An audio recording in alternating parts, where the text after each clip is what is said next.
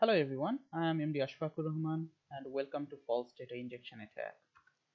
False data injection attack was first introduced in this paper in 2009 and this paper is cited by around 865 papers till the end of 2016.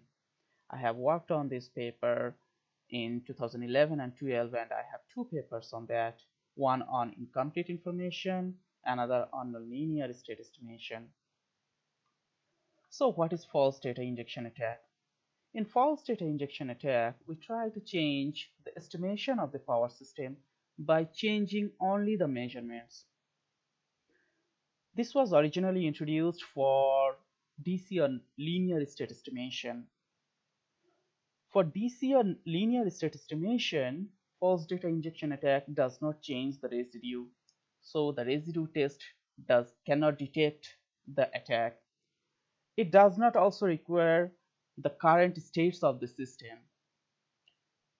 That's that's all for now. Thanks for watching.